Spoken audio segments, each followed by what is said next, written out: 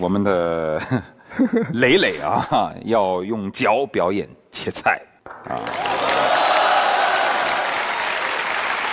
待会儿我们找个老板上来学习一下。就是我适当的给大家示范一下，因为这个我要脱鞋，这个反正我不好不好看，老板们能看到我能自立，不是给企业不会给企业带来负担，主要就是这个。哎呦，那个推老师他只有我一个人能跟他比得过，我也切菜切的特别好。啊，是吧？你一会儿也用脚，来吧，切吧，切吧，切吧啊！别切到脚啊！嗯。哟，还对抛呢啊！那肯定了，要不然他那个。你平时做饭？平时刚开始自自己一个人在西安那会儿做。怎么颠勺？用嘴吗？薄厚就这样。那土豆大概就这样。土豆比较硬，比西瓜比那个黄瓜难切。好有劲儿哈！那已经能看出来，能感觉到有劲儿，而且非常灵活了。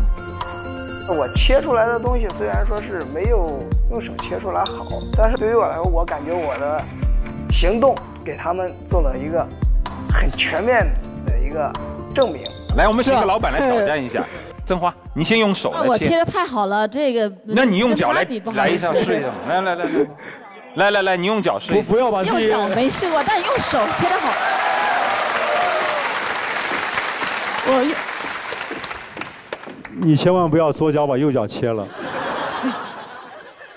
对对对对对，哎，也可以哎，哎真行哎，你把那只脚抵着切嘛。涂老师，你用你的脚来扶着一下啊，有点厚，有点厚，呃，也差不多，也挺好的。啊啊，看着，哎，这这，哎，哎，这个好硬，你看那个车切不来，不行，别勉强。哦哦，这个小心，啊小心小心小心，好了好了好了好了好了好了好了好了好了好，曾花你行啊！不是不是，曾花你这么表演，只能证明你能力只有他的百分之。真的我，你是不是偷偷在家练过？没有，结果发现一个特异的功能呢，从来不知道。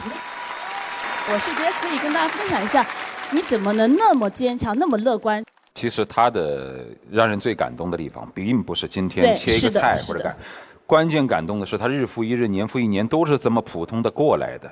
所有的东西一天那叫坚强，那么日复一日那就叫经典。啊，来，谢谢你。我觉得看到这个于磊，让我想到了一个那个，就是要出名的一个叫尼克胡哲，然后他是没有手也没有脚，然后他有一句特别名的名人的这个名言叫“没手没脚没烦恼”，然后让我看到了以后，就让我想到了他。他虽然嗯，确实跟普通人不太身体上不太一样，但是内心的乐观是给我们每一个人都内心极大的鼓舞。所以他最让人佩服的就是他自己没觉得这对有多多大回事对，这是让我特别感动。大家一直关注于于磊的这个乐观坚强啊，但是我这么多年跟于磊接触下来，最呃震撼我的是他的学习能力，还有他的创新精神。大家刚才看他的经历，他其实有很多很成功的创业经历，像网吧，还有之前在西安零售一些东西，对吧？但是他不局限于此，他是一个身体有一点小缺陷，但是头脑非常灵活、很有想法的一个九零后小伙。我们是希望传递这样一种正能量。